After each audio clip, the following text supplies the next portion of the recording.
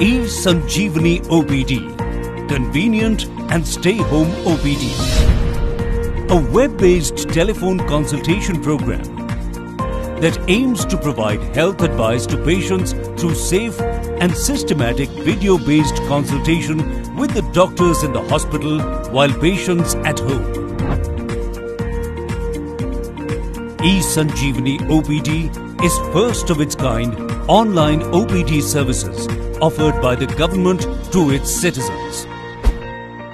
It aims to provide health advice services to patients at their homes.